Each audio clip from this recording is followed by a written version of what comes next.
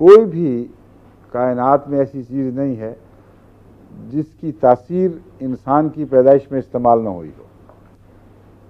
इसलिए ये खुदा की तख्लीक का शाहकार है, क्योंकि कायनात की तख्लीक बहुत अजीम और ये उसका भी शाहकार। और उस पर उससे आगे फिर मज़हब का मजमून और ख़ातमनबीन का मजमून शुरू होता है। इस मामले में मैं आपको ये समझा रहा हूँ कि इंसान अपनी ज़ात पर भी। जितना चाहे गौर कर ले, वो किनारे पर फिरता है। और वमा युहीतुन, वला युहीतुन बेशैम इल्म ही इल्ला बेमाशा का मजमून उस पर सादिर होता है कि जो चाहे कर ले, खुदा तला की तख्लीक के किसी अदना से हिस्से पर भी इंसान अहाता नहीं कर सकता।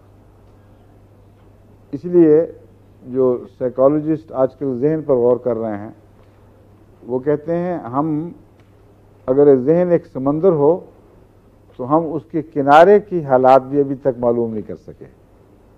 और सबसे मुश्किल अपने जहन को मालूम करना है।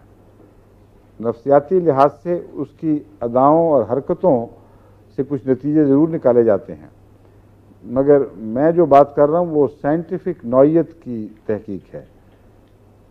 कि गहरा दिमाग, और गहरा दिमाग, उससे गहरा दिमाग, इनके आपस के ताल्लुक क्या हैं, दिमाग के किस हिस्से में क्या क्या चीज़ें महफूज हैं, इंसानी तख्लीक के साथ और खुलियों में और जीन्स में जो प्रिंट्स लगाए गए हैं, उनका दिमाग से कोई ताल्लुक है या नहीं और है तो कैसा, और क्या दोनों इकट्ठे डेवलप हुए थे?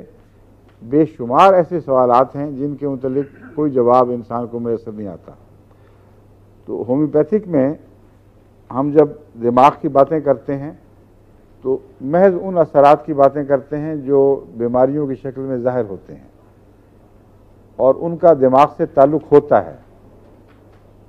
इसीलिए दिमाग को नज़रअंदाज करके और दिमाग से आगे जहन को नज़रअंदाज करके, ये आदतों को नज़रअंदाज करके हम सही इलाज नहीं कर सकते।